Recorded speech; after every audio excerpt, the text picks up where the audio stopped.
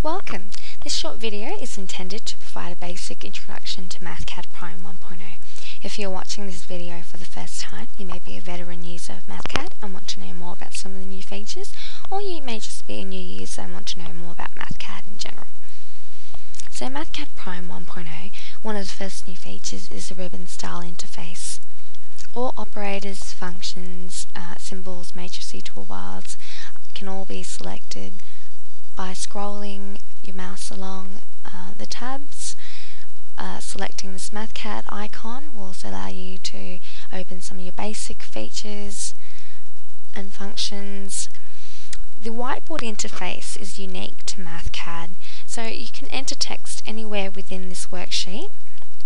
Um, and each area is called a region. So I'm going to let X uh, equal to, now this is a colon equal to, uh, 4, and what I'm telling MathCAD is that I'm assigning a value, I'm not telling MathCAD to actually evaluate this. Um, I might also assign Y to be 3. And if you can see, MathCAD's new alignment grid allows me to easily align up each of my all of my equations and regions. Functions that are commonly used can be added to the quick access toolbar. So if I commonly use this solve block, I can right click it um, and add to the quick access toolbar. Right there. And you can easily remove um, remove functions as your requirements change. Now MathCAD allows you to enter math in a natural math notation. So for example, if I add 15 plus 8 all over 3, oops, let's try that again, 15 plus 8 all over 3. Now you can see that this is being displayed as a fraction, not as a division line or as a forward slash. And now by entering the equal sign, I'm actually telling MathCAD to compute this equation, which it does automatically. MathCAD's improved equation editor allows me to quickly edit any equations. So if I go back um, and change this click outside, notice that MathCAD automatically updates that equation for me.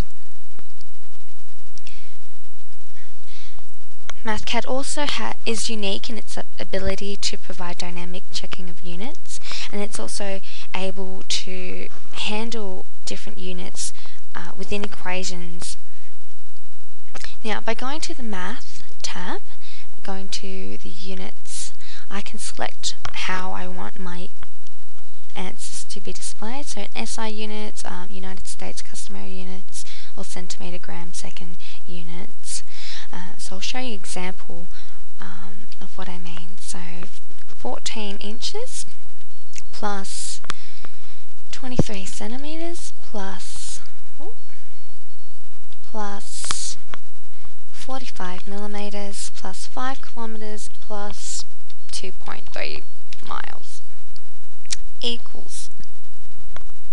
Now, as you can see, my answer, um, MathCAD was easily able to calculate this equation with the mixed units and provide me with an answer in um, my SI units.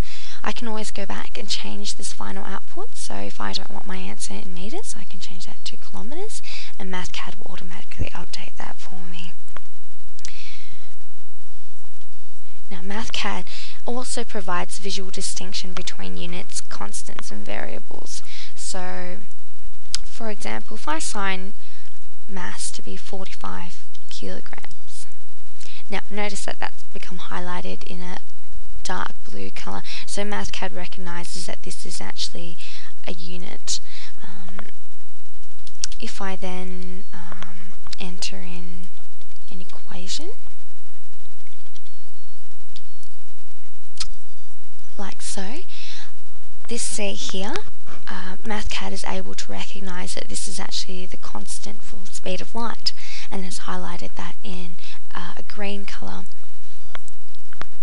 Now, if I then go and compute this by typing in E equals to, MathCAD is able to um, evaluate this equation for me and it's automatically converted the units of kilograms by meter squared over second squared into joules. MathCAD is truly comprehensive as it allows you not only to compute live maths but also to add text. So, by going to the Document tab, I can select the Add Text toolbar and this will come up as a separate region um, and I can label this as being um, Albert Einstein's mass equivalence equation and I can treat this just like any other region um, and move this around there. I can also add uh, images and uh, graphics. So, you know, MathCAD is truly comprehensive in that matter. It also has improved what you see is what you get document editing, which includes um, headers and footers. Um, you can add margins, change the grid sizes, um, you can add in uh, page orientations. So it makes MathCAD not only a very powerful mathematical tool, but allows for data to be documented for reusability, collaboration, and publication. MathCAD also, MathCAD Prime also comes with Batch Worksheet Converter uh, for older versions of MathCAD files. Um, which allows you to quickly convert convert these files to MathCAD Prime files um, by going to the input-output function.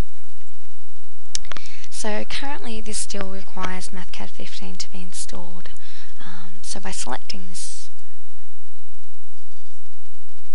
you can see um, that that's popped up. You have the option to add a worksheet into there. Um, and it can tell you um,